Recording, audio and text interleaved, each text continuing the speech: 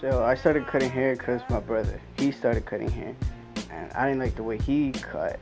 So every time he would cut my hair, I would, we would always argue because I didn't like it. And he would just tell me, he's like, oh, get your $15 and go to a barbershop, have them cut it because I'm not going to deal with you anymore. So that's what I did. My dad gave me an allowance, you know, and I would just go once a month, get my blowout. And that's it. But then later on, my friends would start.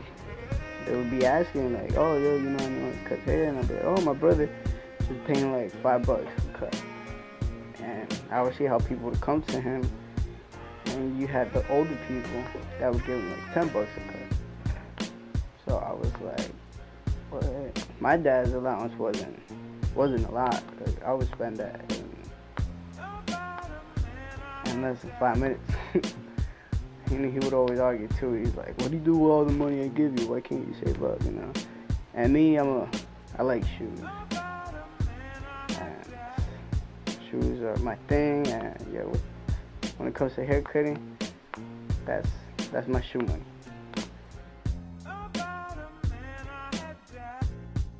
I cutting hair because at the end of the haircut, I like putting up that mirror in front of the my customer's face and just the reaction. You're like, wow, that's you're good, man.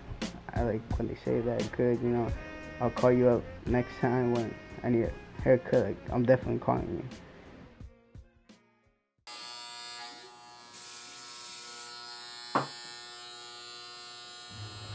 Some kids are crazy for the haircut. They hit every week every week. Like when I tell you every week, if it's a Wednesday, they'll be here the next Wednesday to get their haircut because they just like to look fresh all day, every day. See me, I I cut hair, but I don't have anyone to cut my hair, so I really don't care about my hair. But I care about other people's hair. And then this, when it comes to style, some uh, some people it defines them, defines who they are. You got kids with the mohawk the kids with the mullet that here in my town we call it la seta or el siete. And usually the kids with the siete are my town, they're the Colombian kids, you know, the soccer players. Mohawks too is soccer players or the crazy kids.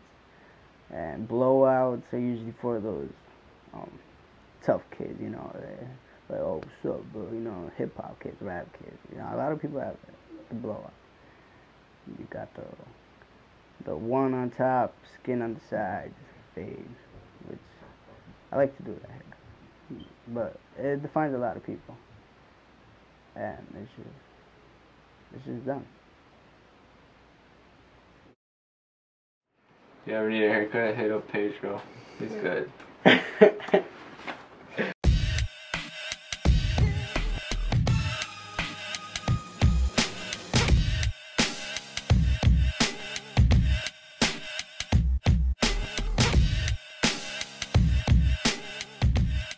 think every barber is an artist. You know, it, it takes it's perfection too. There's some barbers out there that they're they're fading. It's, it's, it's crazy. You know, you see no line. I'm still working on my fading. I learn I learn new things every time I cut hair. I mean, I guess I consider myself an artist too. It's art's a big part of it. You have people that design, freestyle, and there's a, there's a lot of talent when it comes to cutting.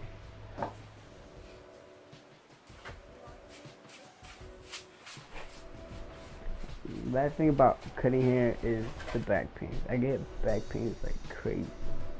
I have to be bending down, and this is it's a pain.